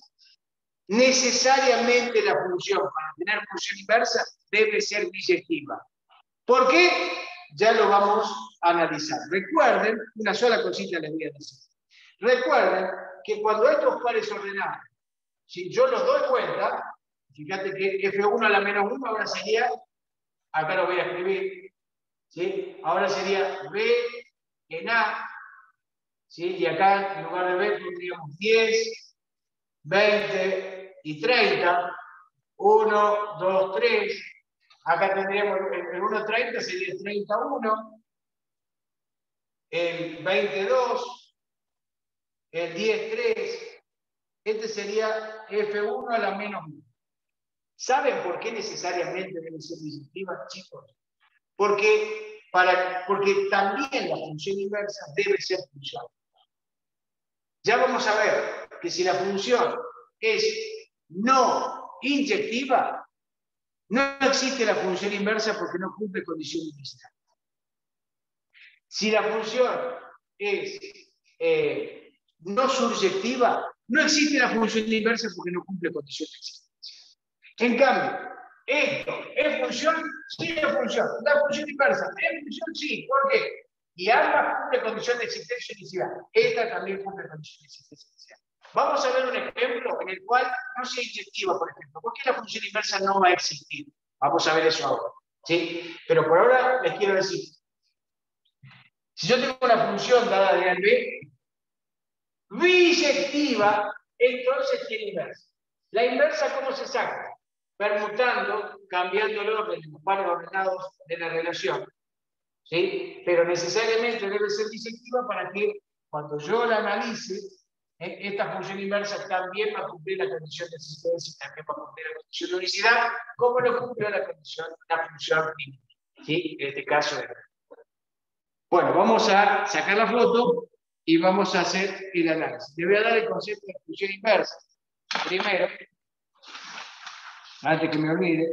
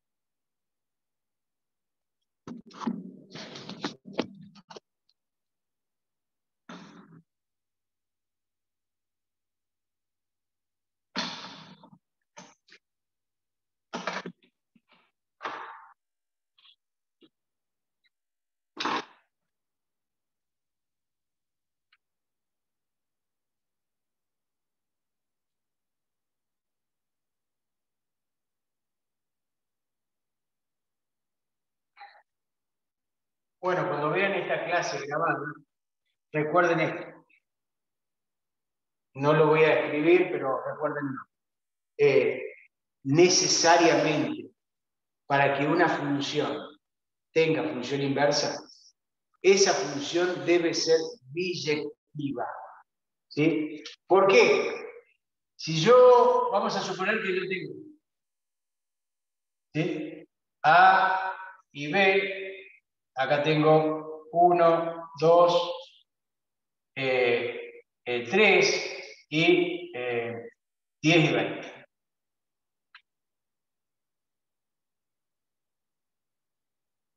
Yo tengo esta función F1. F1 es función. ¿Es función? Sí, cumple condición de existencia. Cada elemento tiene imagen. Cumple condicionicidad. La imagen de cada elemento única. La del 1 es única 10, la del 2 es única 10 y la del 3 es única 20. Es función. Perfecto. Es función. Eh, ¿Cómo se, sería si yo la tuviera que clasificar? No, le, no la vamos a clasificar. ¿Cómo sería? ¿Sería inyectiva? No. No. Es no inyectiva. ¿Por qué? Y porque distintos elementos tienen la misma. ¿Sí? Distintos elementos tienen la misma. No es inyectiva. Subyectiva es. Sí. Sí. Es subyectiva. ¿Por qué es subyectiva? Y es subyectiva porque todos los elementos de B son imágenes de algún elemento. El 10 es imagen del 1 y del 2 y el 20 es imagen del 3. ¿Qué les parece a ustedes? ¿Existirá la función inversa? Si yo quisiera sacar la función inversa, función inversa,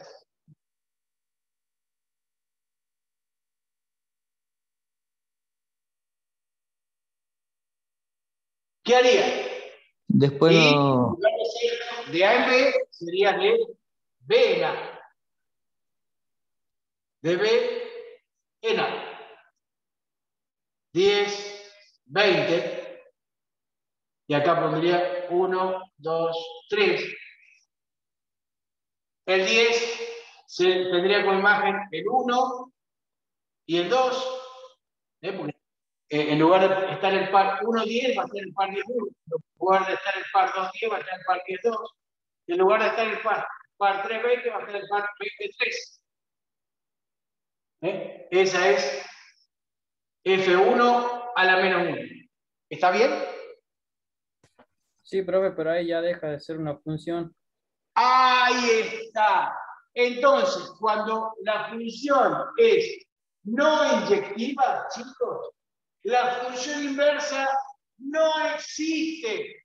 ¿Por qué? Porque no cumple condición de unicidad. ¿Eh? No cumple la condición de unicidad. ¿Eh? Es decir, cumple la de existencia, pero no cumple la de unicidad. Vamos a ver ahora el otro caso, que sea inyectiva, pero que no sea subjetiva. Voy a tomar ahora otro caso.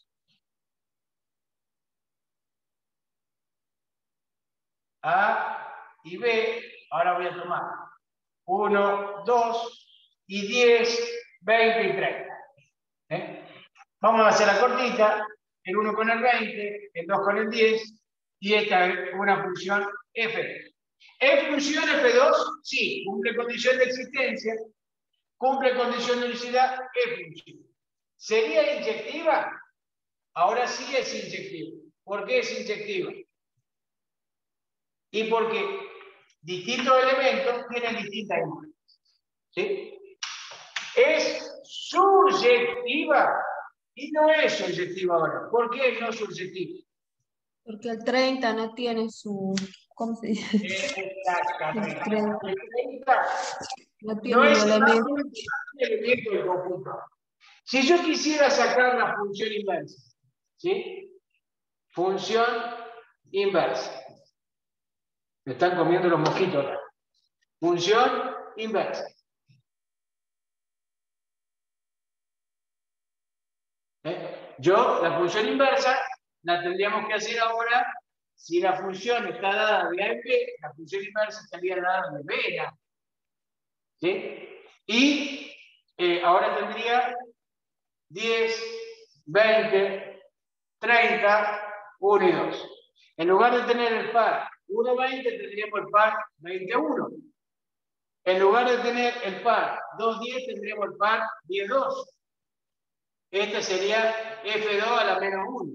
Pero sería función, ya no sería función. ¿Por qué? Porque ¿qué condición no cumple?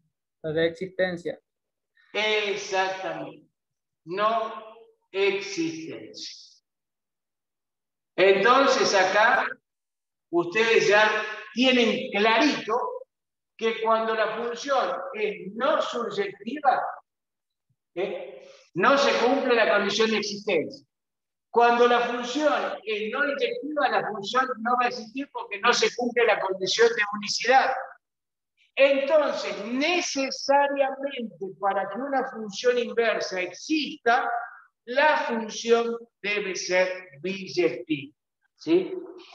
Biyectiva. ¿Está claro en eso? Sí, profe. O sea, no es antojadizo que uno diga para que una función tenga inversa debe ser biyectiva. ¿Por qué la, la cosa? Bueno, estamos viendo acá, porque si la función fuera no inyectiva, la función inversa, que también debe ser función, no va a ser función porque no cumple condición de unicidad. Si la función este, es no subjetiva, la función inversa, que debería ser función, también no va a ser función porque no cumple la condición de existencia. ¿eh? Entonces, en este caso, necesariamente, acá por lo tanto, por lo tanto, son tres puntitos. ¿eh? Esto significa por lo tanto, para que una función tenga inversa, tenga inversa, tenga, tenga función inversa.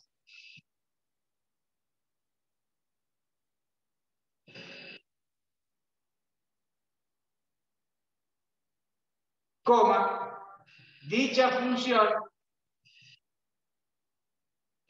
debe ser, debe ser biyectiva. Biyectiva.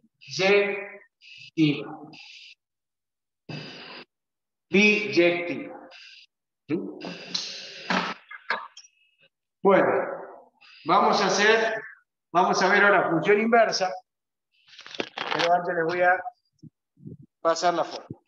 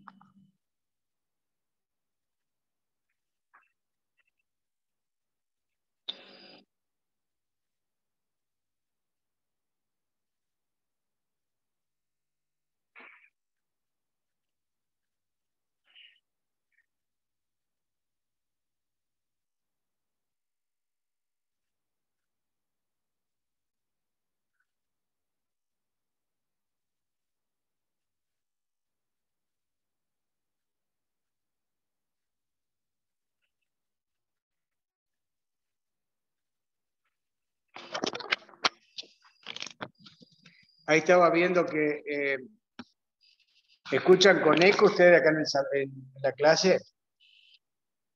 Sí, pero muy poco, profe. Poco, nomás un poquito.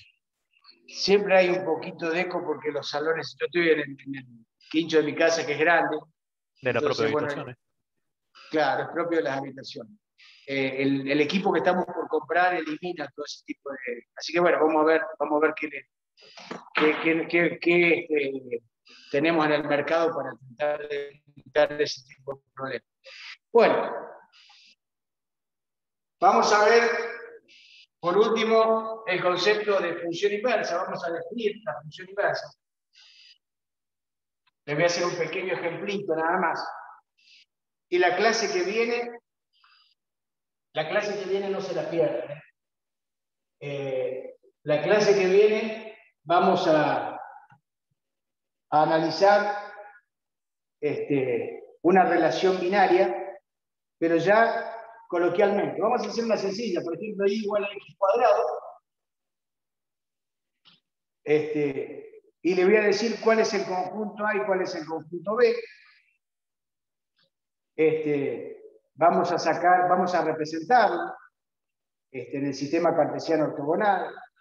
Vamos a ver si esa relación es función este, vamos a clasificarla, vamos a calcular la función inversa. Eh, siempre que calcules la función inversa, vos tenés que decir cuál es el dominio y cuál es el recorrido.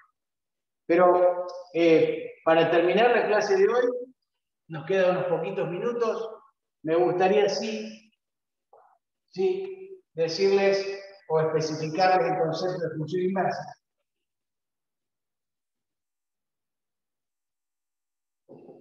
Y, hacer un ejemplo.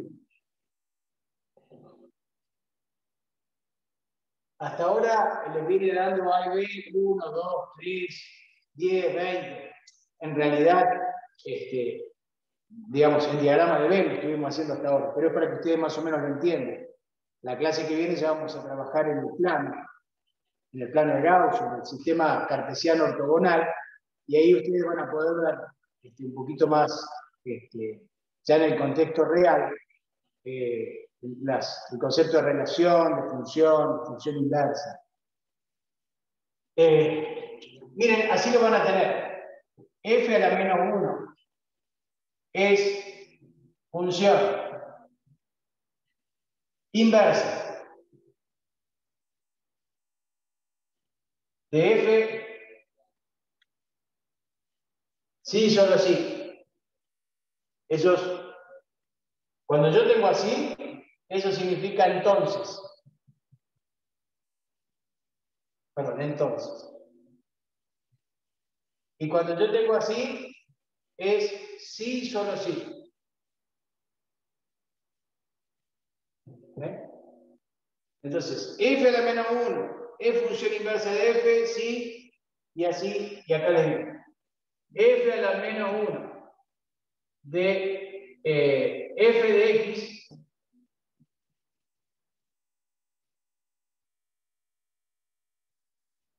es igual a x y f a la menos 1 de f de y es igual a y. Vamos a entender esto. ¿sí? Esto lo van a ver en los libros, pero no lo van a entender a. Ya lo vamos a ver. Bueno, voy a borrar esto. ¿Cómo es esto de que f a la menos 1 de f de x f a la menos 1 de f de y?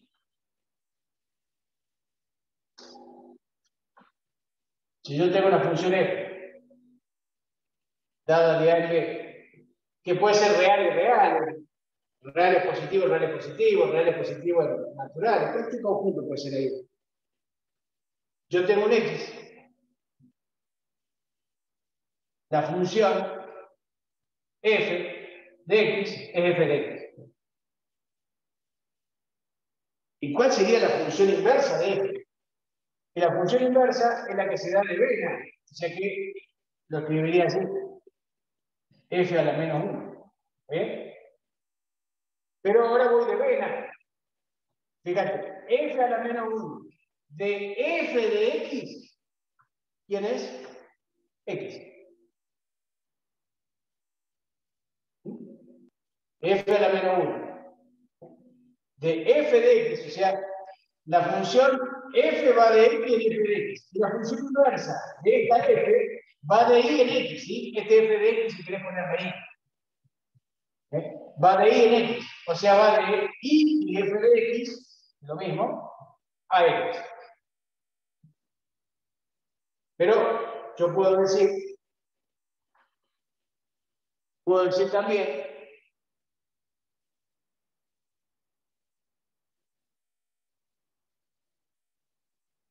de B en A, ¿sí? Puedo decir de que este, y, y X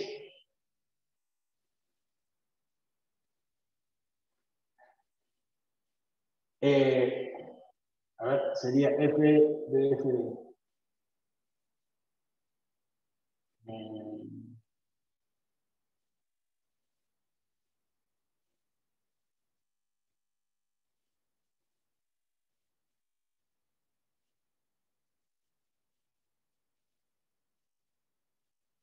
Está bien. Si yo tengo un I, para ese I corresponde un FDI. Que ese FDI, según lo que está ahí, sería X. ¿sí? Porque está en el conjunto A. Entonces, si yo considero la como función inversa a la función inversa de aquella, ¿sí? f a la menos 1, f a la menos 1 de f de i Acá estoy considerando como función a la primitiva. Acá estoy considerando como función a la función inversa. O sea, la función inversa es la que se da de B en A. La función es la que se da de A en B. Entonces, por eso yo pongo, si considero como función a la función inversa, le pongo F por la de la función inversa, esta es la que va de I en X, la que va de acá a acá. La función inversa de esta, de esta, de esta función inversa, el f a la menos 1, f a la menos 1, f a la menos 1 de f de i, ese f de i sería x, porque recordad que x se vincula con i, x del conjunto A, y es del conjunto B. ¿eh? Y del conjunto B, x del conjunto A. ¿sí? I vale f de x, y x vale f de y. Entonces, f a la menos 1 de f de x, este, de f de y, perdón, Bueno, este es el concepto de función inversa. Vamos a ver ahora un ejemplo. Ejemplo.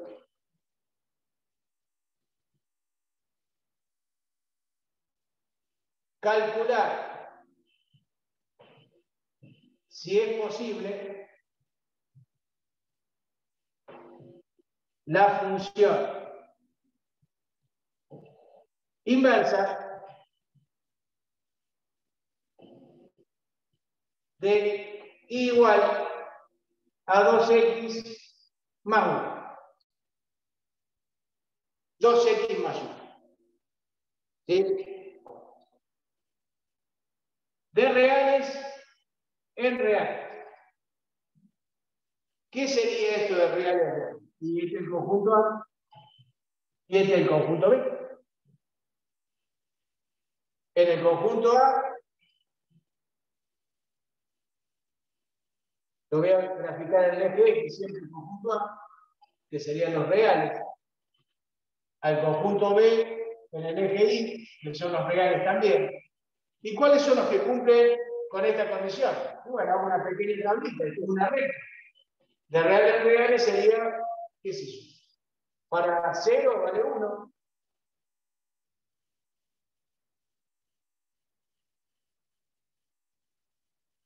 Por ejemplo, para 2, ¿cuánto vale? Y 2 por 2, 4 más 1, 5. 1, 2, 3, 4, 5.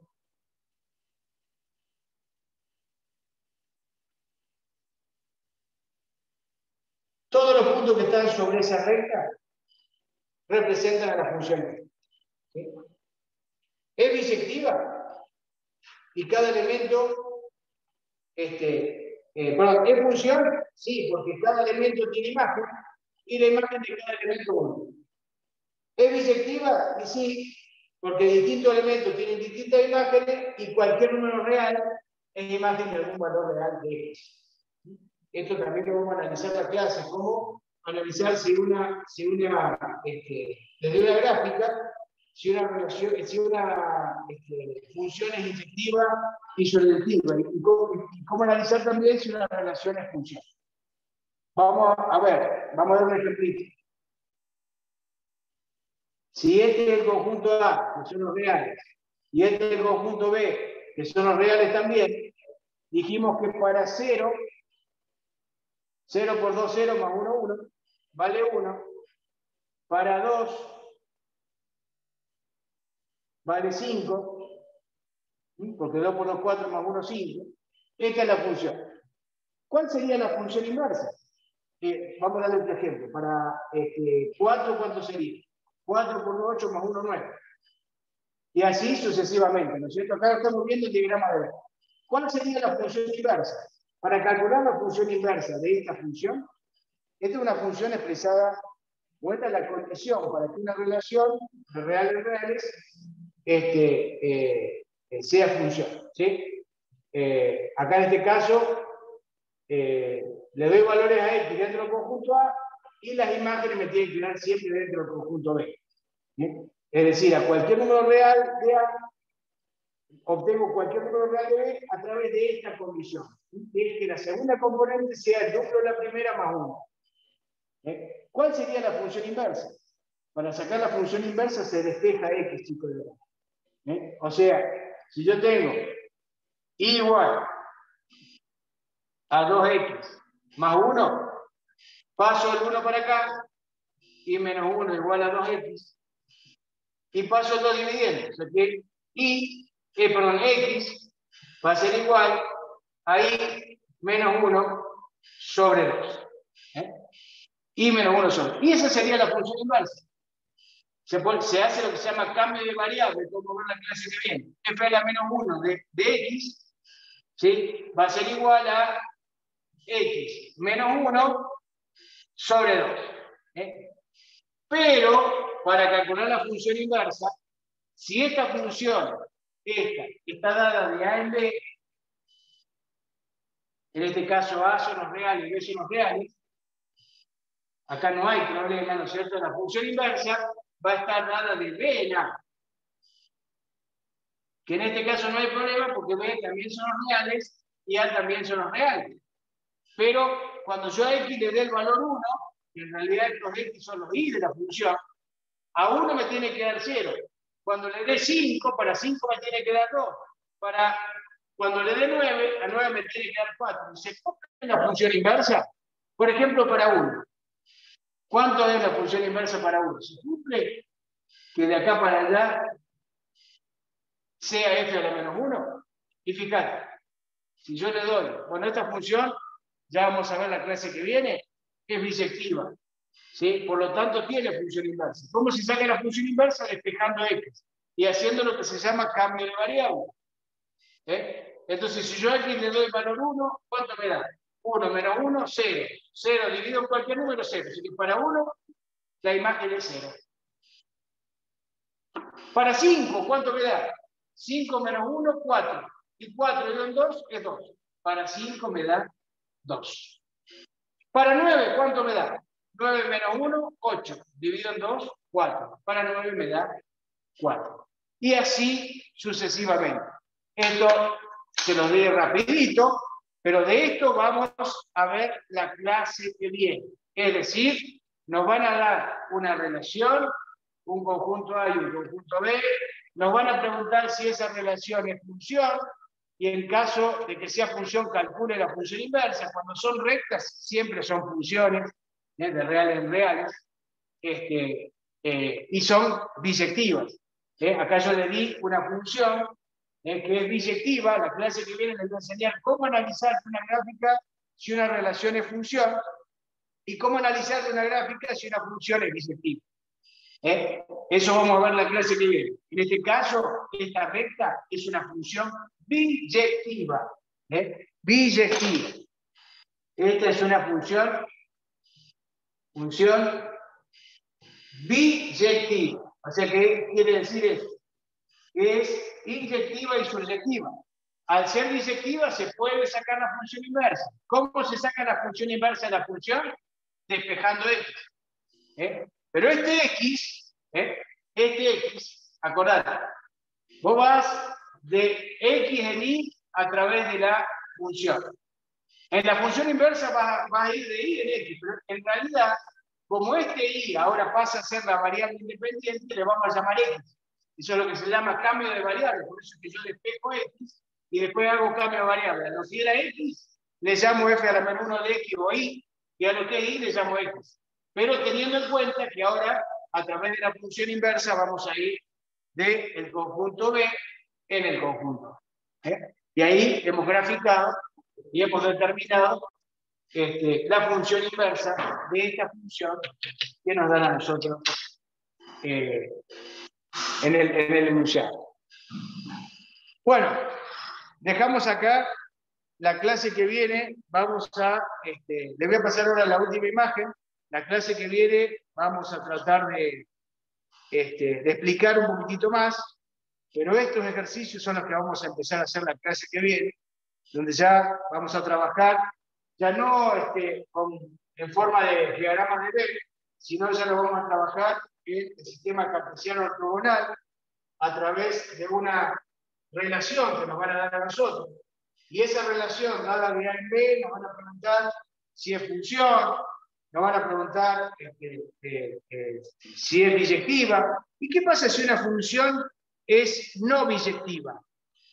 ¿Se la puede convertir en biyectiva? Sí, eso también lo vamos a ver en la clase que viene. ¿Cómo? Haciendo lo que se llama, escuchen la palabrita, restricción. ¿Eh? Vamos a restringir el dominio y el recorrido adecuadamente para que una eh, función que no es biyectiva la podamos hacer biyectiva para poder calcularle la función inversa. Recuerden, la función va de x ¿sí? va de x en y. La función inversa va de y en x. Pero cuando la calcule a la función inversa, ya estos valores de i pasaron a ser variables independientes, porque cuando voy a hacer una tablita x, y, ¿qué le da a x? El valor que se me ocurre a mí, el valor que yo quiero. Eso se llama variable independiente. Le doy el valor que, se me ocurre. ¿eh? Bueno, ahora pasaron a ser los variables de la variable independiente los valores de i. Por eso lo que se hace lo que se llama cambio de variable para poder calcular la función inversa. Pero en realidad la función inversa es la que se da en el conjunto B en el conjunto A. Y para eso la función debe ser bisectiva. Bueno, ¿alguna duda hasta acá?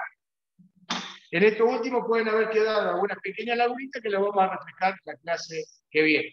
Porque sobre esto, se los quería presentar, por lo menos, sobre esto vamos a trabajar la próxima clase. Bueno, ¿alguna cosita más para decir?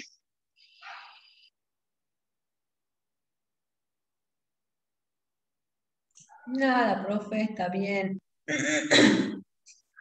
Está bien, profe.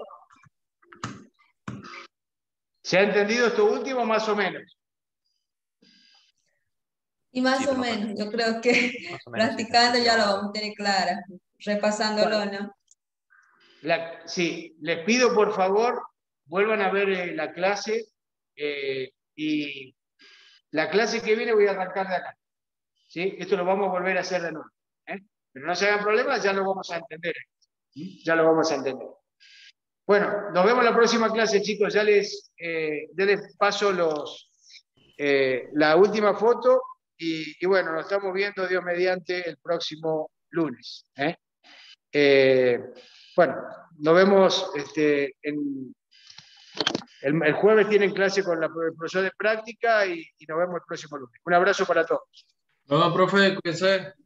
Hasta luego. Chao, profe. Hasta luego. Chao, chicos.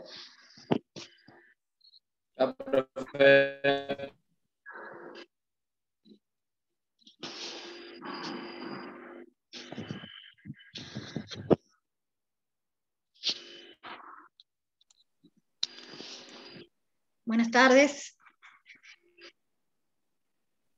Hola. Buenas tardes, profe. ¿Cómo les va? Eh, les quería avisar que hay examen, así que voy a abrir la mesa y con la horta la arquitecta ya queda ella allá y yo ya vuelvo con ustedes. O sea, voy a demorar lo que sea abrir la mesa de examen, que coincide que es a las 19, pero tenemos en otra aula. El tema es, em, yo abro la mesa, le dejo allá el, examen, todo y se quedan con la arquitecta y el JTP, y yo me vengo con ustedes, así no perdemos la clase de hoy, ¿sí? ¿Eh? O sea,